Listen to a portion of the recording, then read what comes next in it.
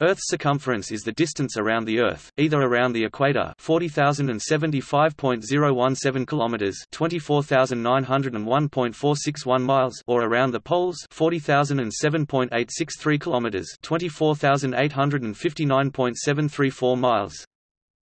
Measurement of Earth's circumference has been important to navigation since ancient times.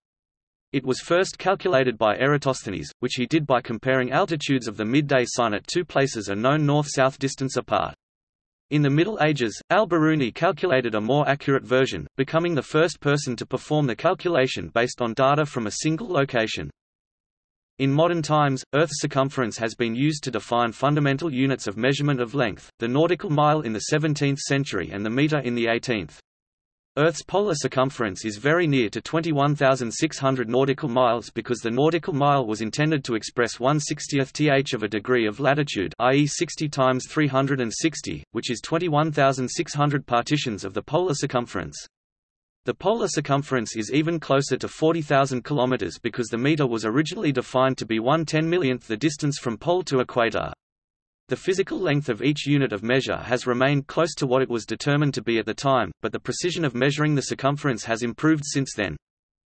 Treated as a sphere, determining Earth's circumference would be its single most important measurement Earth actually deviates from a sphere by about 0.3% as characterized by flattening.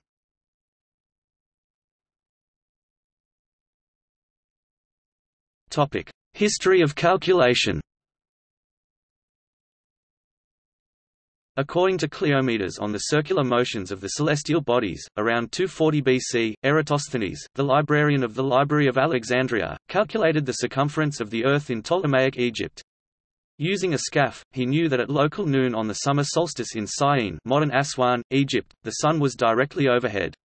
Syene is at latitude 24 degrees 05 north, near to the Tropic of Cancer, which was 23 degrees 42 north in 100 BC. He knew this because the shadow of someone looking down a deep well at that time in Syene blocked the reflection of the sun on the water. He then measured the sun's angle of elevation at noon in Alexandria by using a vertical rod, known as a gnomon, and measuring the length of its shadow on the ground. Using the length of the rod, and the length of the shadow, as the legs of a triangle, he calculated the angle of the sun's rays. This angle was about 7 degrees, or 1/50th the circumference of a circle. Taking the Earth as perfectly spherical, he concluded that the Earth's circumference was 50 times the known distance from Alexandria to Syene 5,000 stadia, a figure that was checked yearly, i.e. 250,000 stadia. Depending on whether he used the Olympic stade 176.4 meters or the Italian stade 184.8 meters. This would imply a circumference of 44,100 kilometers, an error of 10% or 46,100 kilometers, an error of 15%. In 2012, Anthony Abreu Mora repeated Eratosthenes' calculation with more accurate data. The result was 40,074 km, which is 66 km different (0.16%) from the currently accepted polar circumference. Posidonius calculated the Earth's circumference by reference to the position of the star Canopus. As explained by Cleomedes, Posidonius observed Canopus on but never above the horizon at Rhodes, while at Alexandria he saw it ascend as far as 7.5 degrees above the horizon the meridian arc between the latitude of the two locales is actually 5 degrees 14 minutes. Since he thought Rhodes was 5,000 stadia due north of Alexandria, and the difference in the star's elevation indicated the distance between the two locales was 1/48th of the circle, he multiplied 5,000 by 48 to arrive at a figure of 240,000 stadia for the circumference of the Earth. It is generally thought that the stadion used by Posidonius was almost exactly one-tenth of a modern statute mile, Thus Posidonius's measure of 240,000 stadia translates to 24,000 miles 39,000 kilometers, not much short of the actual circumference of 24,901 miles 40,074 kilometers. Strabo noted that the distance between Rhodes and Alexandria is 3,750 stadia, and reported Posidonius's estimate of the Earth's circumference to be 180,000 stadia or 18,000 miles 29,000 kilometers. Pliny the Elder mentions Posidonius among his sources and without naming him reported his method for estimating the Earth's circumference. He noted, however, that Hipparchus had added some 26,000 stadia to Eratosthenes' estimate. The smaller value offered by Strabo and the different lengths of Greek and Roman stadia have created a persistent confusion around Posidonius's result. Ptolemy used Posidonius's lower value of 180,000 stades about 33% too low for the Earth's circumference in his geography. This was the number used by Christopher Columbus in order to underestimate the distance to India as 70,000 stades. A more accurate estimate was provided in al-Biruni's Codex Masudicus 1037. In contrast to his predecessors, who measured the Earth's circumference by sighting the Sun simultaneously from two different locations, al-Biruni developed a new method of using trigonometric calculations, based on the angle between a plane and mountain top, which yielded more accurate measurements of the Earth's circumference, and made it possible for it to be measured by a single person from a single location. 1,700 years after Eratosthenes' death, while Christopher Columbus studied what Eratosthenes had written about the size of the Earth, he chose to believe, based on a map by Toscanelli, that the Earth's circumference was 25% smaller. Had Columbus set sail knowing that Eratosthenes' larger circumference value was more accurate, he would have known that the place that he made landfall was not Asia, but rather the New World.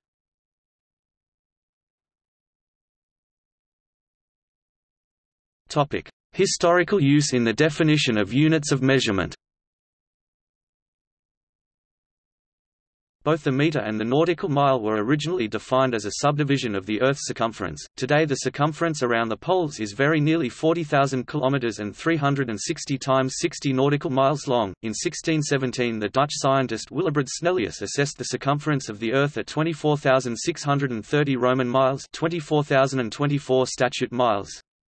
Around that time British mathematician Edmund Gunter improved navigational tools including a new quadrant to determine latitude at sea. He reasoned that the lines of latitude could be used as the basis for a unit of measurement for distance and proposed the nautical mile as one minute or one sixtieth, one sixtieth of one degree of latitude. As one degree is one three hundred and sixtieth of a circle, one minute of arc is one twenty-one thousand and six hundredth of a circle, such that the polar circumference of the Earth would be exactly twenty-one thousand six hundred miles. Gunter used Snell's circumference to define a nautical mile as 6,080 feet, the length of one minute of arc at 48 degrees latitude. In 1791, the French Academy of Sciences selected the circumference definition over the alternative pendular definition because the force of gravity varies slightly over the surface of the Earth, which affects the period of a pendulum. To establish a universally accepted foundation for the definition of the meter, more accurate measurements of this meridian were needed. The French Academy of Sciences commissioned an expedition led by Jean-Baptiste Joseph Delambre and Pierre Méchain, lasting from 1792 to 1799, which attempted to accurately measure the distance between a belfry in Dunkirk and Montjuïc Castle in Barcelona to estimate the length of the meridian arc through Dunkirk. This portion of the meridian, assumed to be the same length as the Paris meridian, was to serve as the basis for the length of the half meridian connecting the North Pole with the equator. The problem with this approach is that the exact shape of the Earth is not a simple mathematical shape, such as a sphere or oblate spheroid, at the level of precision required for defining a standard of length. The irregular and particular shape of the Earth smoothed to sea level is represented by a mathematical model called a geoid, which literally means, Earth-shaped. Despite these issues, in 1793 France adopted this definition of the meter as its official unit of length based on provisional results from this expedition. However, it was later determined that the first prototype meter bar was short by about 200 micrometers because of miscalculation of the flattening of the Earth, making the prototype about 0.02% shorter than the original proposed definition of the meter. Regardless, this length became the French standard and was progressively adopted by other countries in Europe.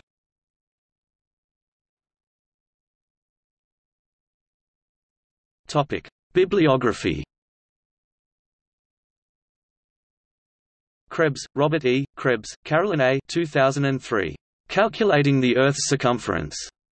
Groundbreaking Scientific Experiments, Inventions, and Discoveries of the Ancient World. Greenwood Publishing Group. p. 52. ISBN 978-0-313-31342-4. Nicastro, Nicholas. The 25th of November 2008.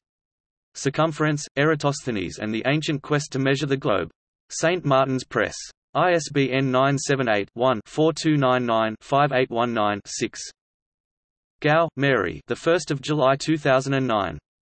Measuring the Earth, Eratosthenes and his Celestial Geometry. Enslow Publishing, LLC. ISBN 978-0-7660-3120-3. Lowrie, William the 20th of September 2007. Fundamentals of Geophysics. Cambridge University Press. ISBN 978-1-139-46595-3.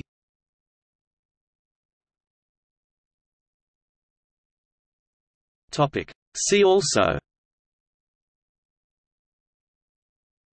Earth radius Spherical Earth Nautical mile